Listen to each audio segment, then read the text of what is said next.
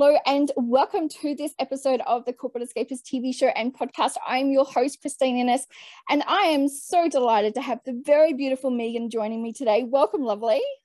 Morning, how are you? I'm very good. I'm so excited you're being here and you wrote a beautiful article for us and I'm like, I read it, I'm like, I, I need to talk to this girl because she speaking my language, plus also you love gin too. So, you know, hey, you know, what can we say?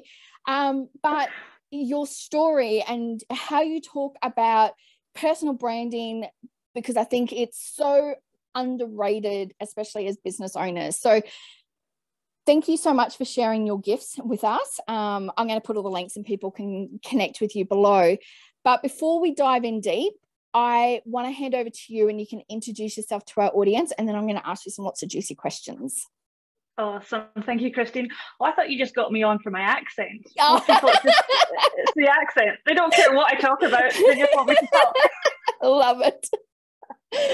So uh, we are both in Australia, but obviously my accent is not. I'm uh, Scottish and moved over here about 10 years ago. I, like Christine said, love a good gin. Scottish gins are still definitely the best, and good ones over here in Australia. But I'm a personal brand strategist and have been doing this unofficially for oh, over 10 years. I just didn't really realize there was a name for it until uh, the pandemic. And I started listening to podcasts and I heard one that someone talking about personal branding, and I thought, eh, that's pretty much what I do. So I rebranded, and it's been the best thing I've ever done because it is a free resource that we have. I mean, you spend a fortune going out and getting logos designed and getting your brand colors and you know getting every social media channel set up, mm-hmm. a website, all of this sort of things. And really, your face is the only logo that you actually need. Everything mm-hmm. else is an add-on, and it depends what you need it for and where your audience is. So that is me. I love it, and I think it's so true because. I, I, have so many people say, Oh, I can't decide on a logo. And I'm like, okay, first of all, choose something that's in line with you right now because your logo is probably going to change anyway. But we need to get out behind the logo. We need to get out behind the products and services and show who we are and why you started the business because you're the best form of advertising for your business especially as a small business if you're in a massive corporate and you'll if anyone who's listening has come from a corporate which most of your audience probably have mm. you know you're just you you kind of are just a number. You know, once you're in that kind of middle range, you're just a number until you make it to the top. And the people who do make it to the top, mm-hmm. it's because they've made a name for themselves. They do have a personal brand.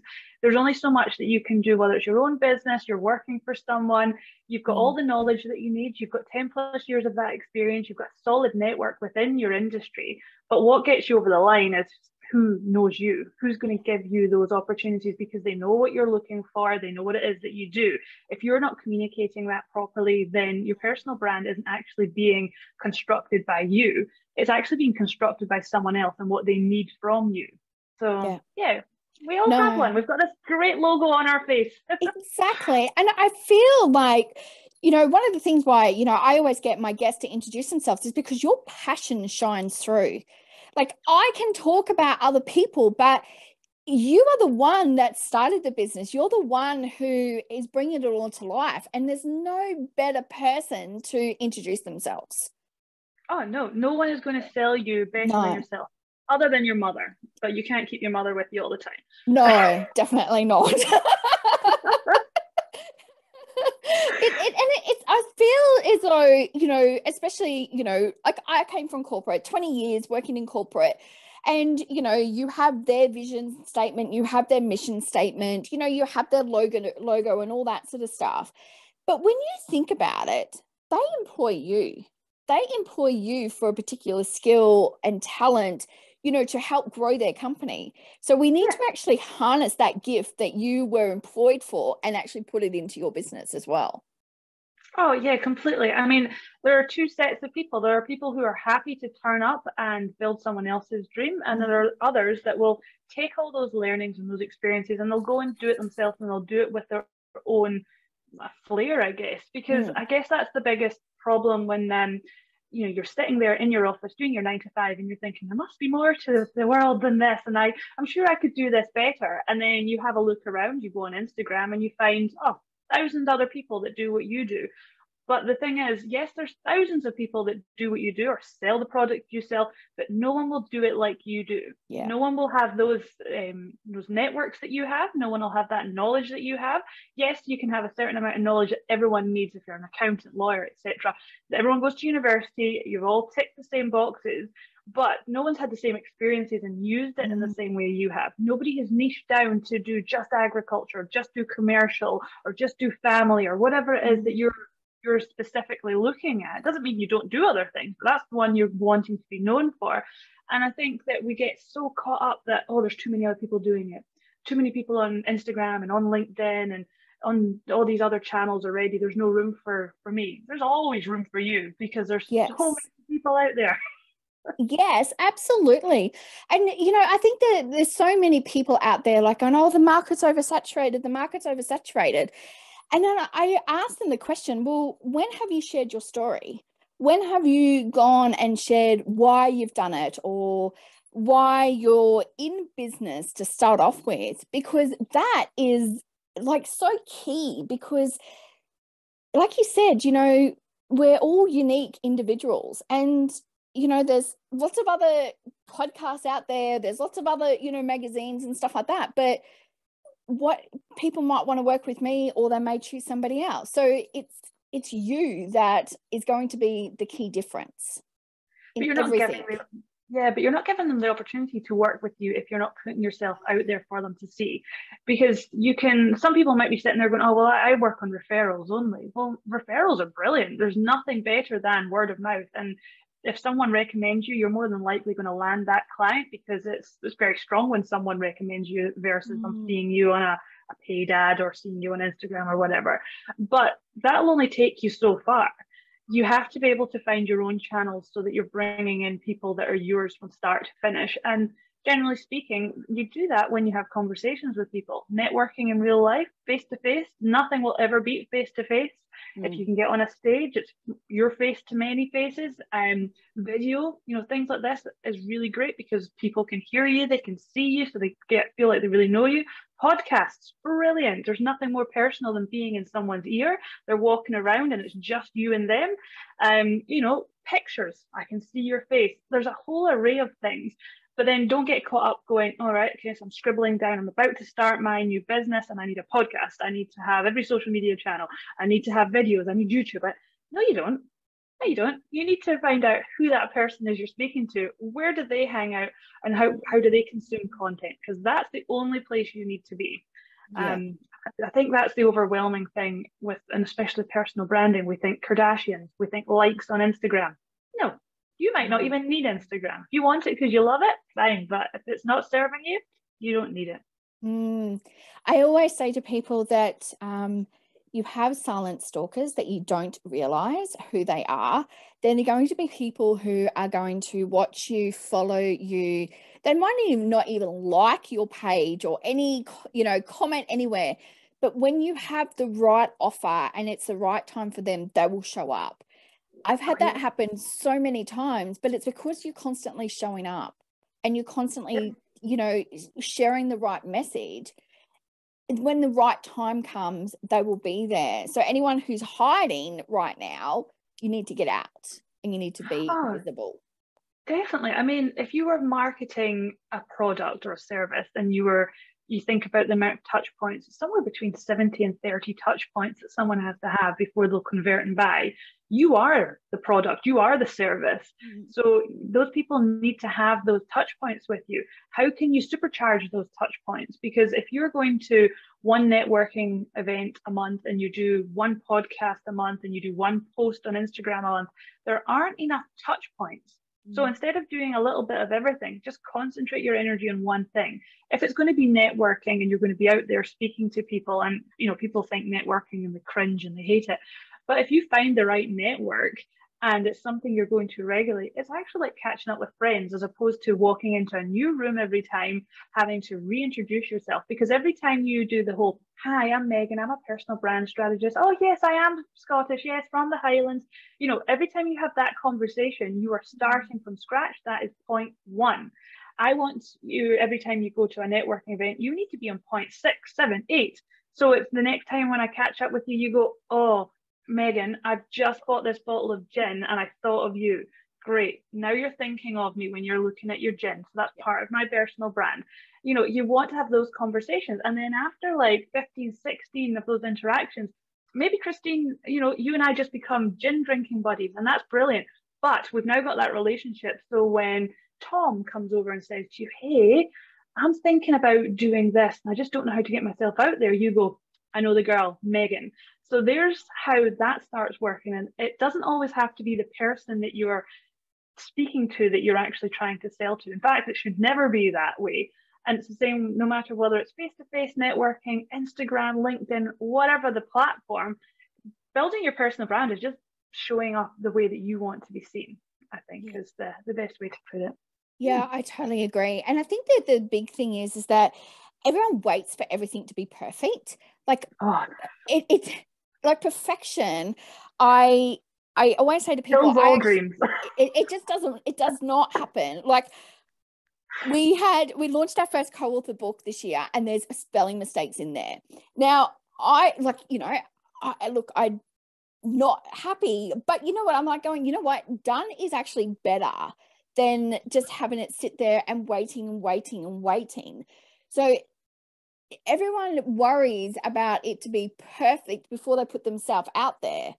But I mm. think actually embracing your flaws, embracing all those little quirks about yourself actually sets you apart from everybody else.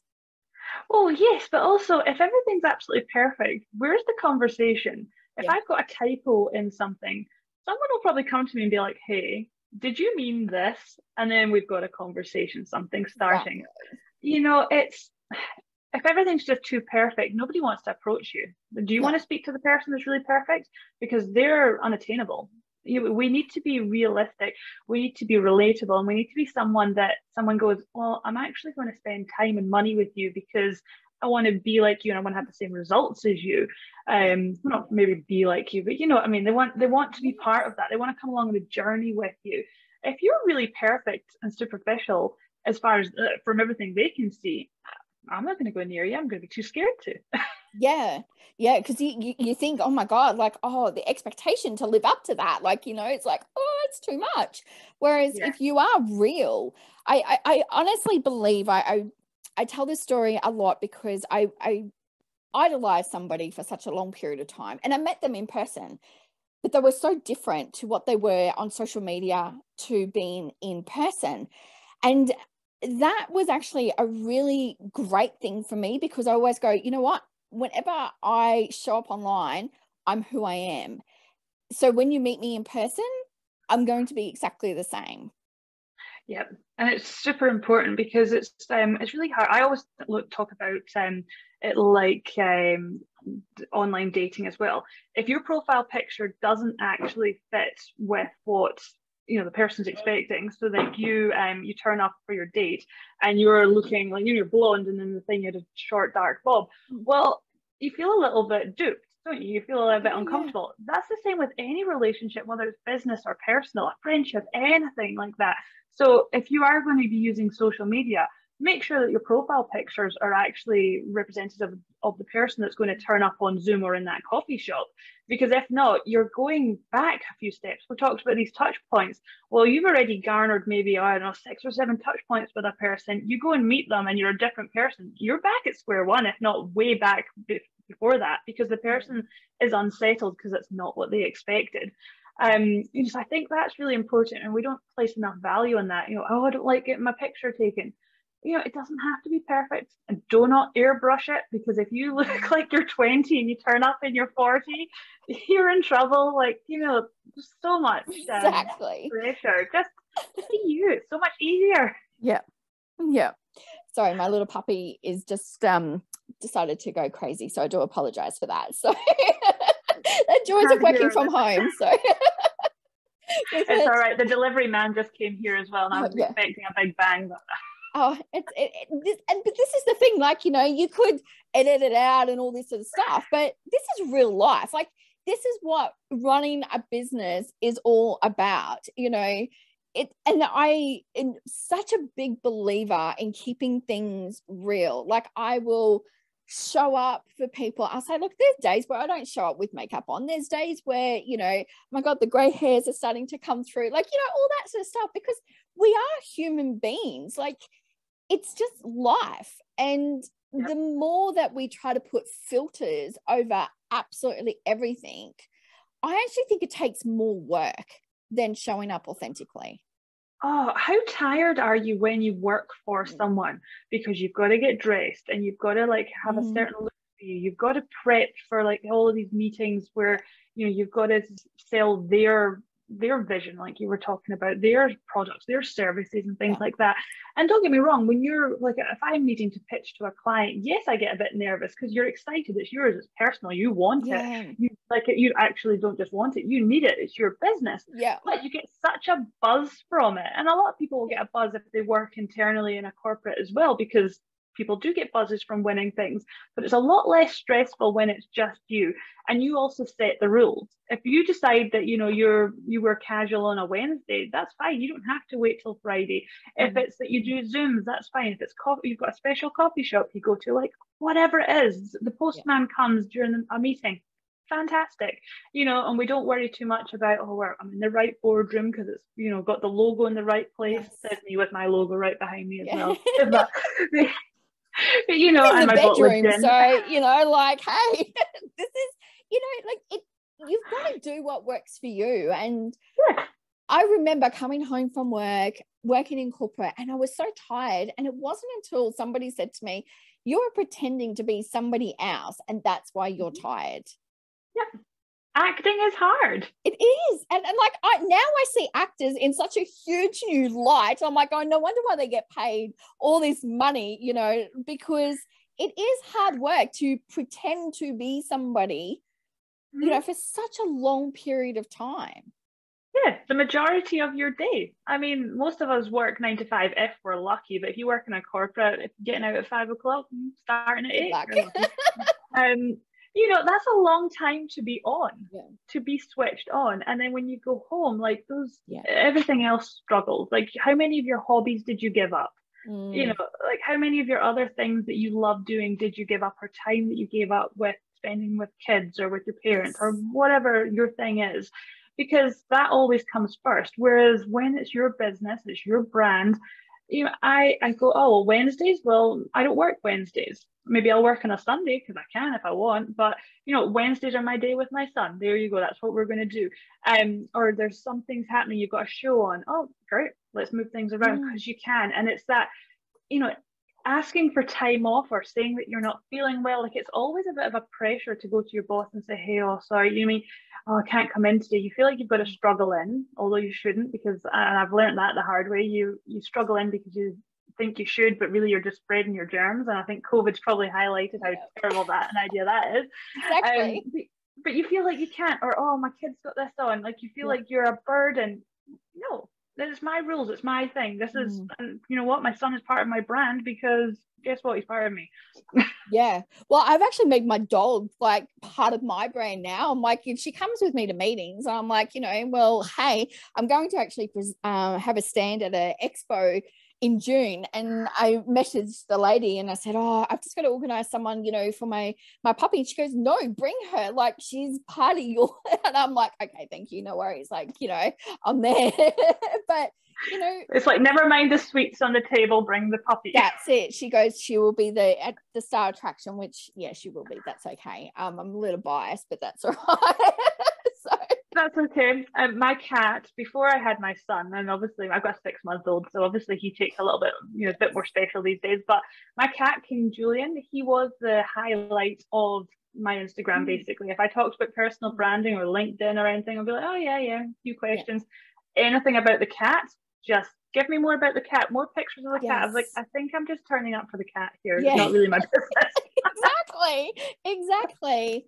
Well, I love what you're doing. And I think this is so needed for anybody starting out in business because I, I you know when I, when I read what you did and you know read your your blog article that you did for us I'm like yep like everything you said is so on point and anyone starting a business you need to go over and chat to Megan um, because you need to really encompass who you are so you can actually grow your business really authentically. So I just want to say thank you so much. I love what you're doing and I any way I can support you, I'm there. So thank you so much. No, thank you. You totally are supporting. I just, I love all the people that you're bringing together through your magazine and your podcast. And I've been dipping into them. And there's just a wealth of experience and knowledge in there, which I think is fantastic. And if you're starting a business, you need that. You need to look at the people you actually respect, the people you want to actually mm. emulate, etc stop looking at the people that are unachievable you know don't look at the people that you've just walked away from in corporate you're not replicating the same thing